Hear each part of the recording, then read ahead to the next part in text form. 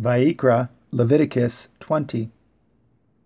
And Yahuwah spoke unto Moshe, saying, Again, you shall say to the children of Yasharel, Whosoever he be of the children of Yasharel, or of the strangers that sojourn in Yasharel, that gives any of his seed unto Molech, he shall surely be put to death.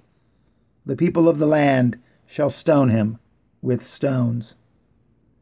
And I will set at my face against that man, and will cut him off from among his people, because he has given of his seed unto Molech, to defile at my sanctuary, and to profane at my holy name.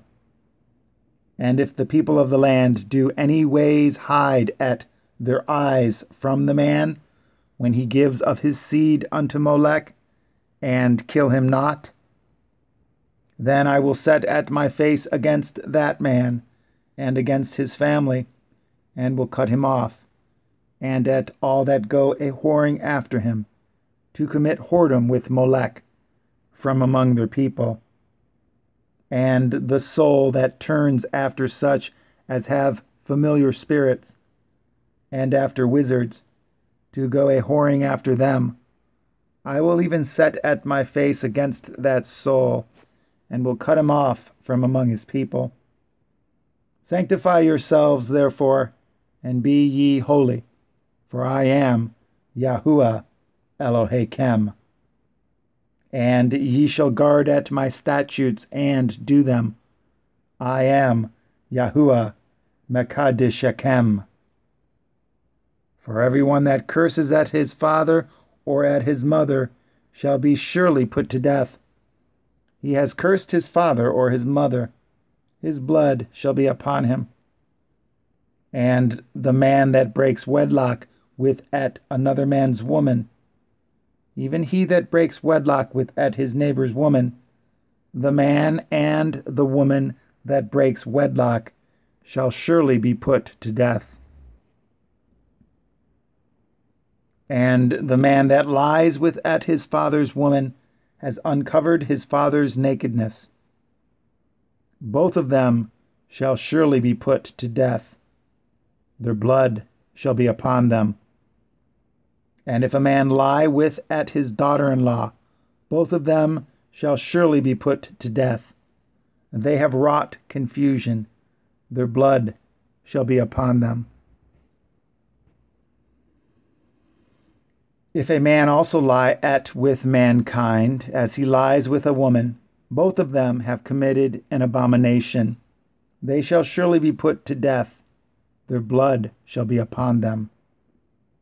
And if a man take at a woman and at her mother, it is wickedness. They shall be burnt with fire, both he and they, that there be no wickedness among you.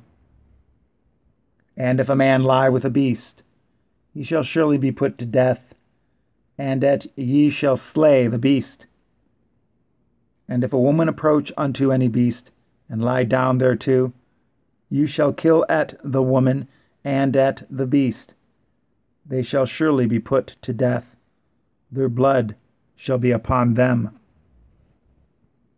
And if a man shall take at his sister, his father's daughter, or his mother's daughter, and see at her nakedness, and she see at his nakedness.